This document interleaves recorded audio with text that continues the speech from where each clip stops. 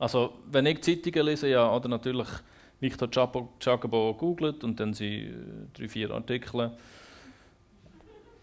Weißt, es gibt auch einfachere Leute zum Recherchieren. Also, auf jeden Fall, ja, ein paar von denen habe ich, Ich ein bisschen lese das durchgelesen. Zeug nicht. Weltwoche natürlich hauptsächlich habe ich äh, intensiv studiert.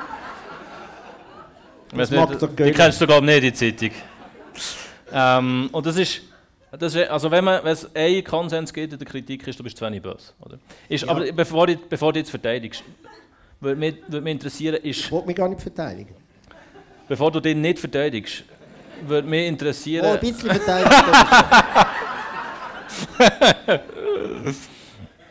bevor du jetzt das Mikrofon wieder an dein Maul hebst, möchte ich dir etwas fragen. Ist Boshaftigkeit, ist das für dich überhaupt ein wesentliches Kriterium im Humor, in der Satire, oder ist das etwas, das nebendurch zielt? Also ist das gar nicht ein Qualitätskriterium für Satire? Was, was ist deine Meinung zu dem?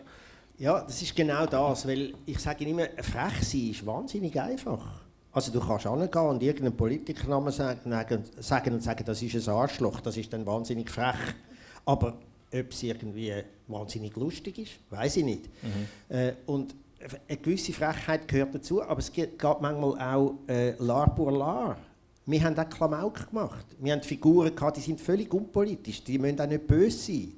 Das mit dem Bösesein, das ist, hat immer ein bisschen zu tun mit dem Minderwertigkeitskomplex der Schweizer, wo alle amerikanischen Shows schauen und alle deutschen Shows sagen, ja, die sind viel, viel frecher als ihr. Und wir haben eigentlich das Gegenteil einmal erfahren von diesen deutschen Gästen oder Österreichern, die bei uns hatten. Also vom Hader über den Hildebrand äh, bis zu wirklich alle, die zu uns gekommen sind, die sich gewundert haben, oh, ihr, sind aber, ihr wagt aber auch noch irgendetwas zu sagen. Also zum Beispiel hat sie, also jetzt der Josef Hader zum Beispiel hat gesagt, also wenn jemand in Österreich so würde zum Beispiel über religiöse Sachen reden, wie wir das gemacht haben, hätte er riesige Lampen am, am Hut. Und äh, das, das mag sein, aber es, auch das kümmert mich nicht so wahnsinnig. Ich selber muss es lustig finden. Oder mir.